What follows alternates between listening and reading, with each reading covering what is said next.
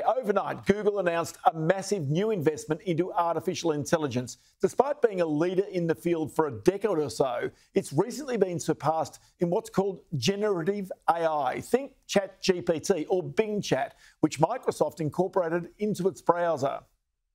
And it looks like the balloons got cut off in this one. So you can go ahead and reposition the birthday boy. Magic Editor automatically recreates parts of the bench and balloons that were not captured in the original shot.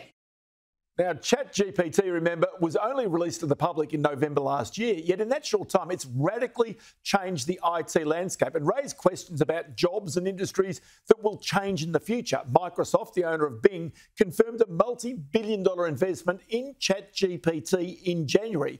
Google, with its inferior Bard app, seemed to be left behind. That's until now. Its new chatbot will soon be available in English across 180 countries and will support 40 languages. So, in my mind, imagine a face to face instant conversation with a person who doesn't speak your language. We have been applying AI to make our products radically more helpful for a while. With generative AI, we are taking the next step.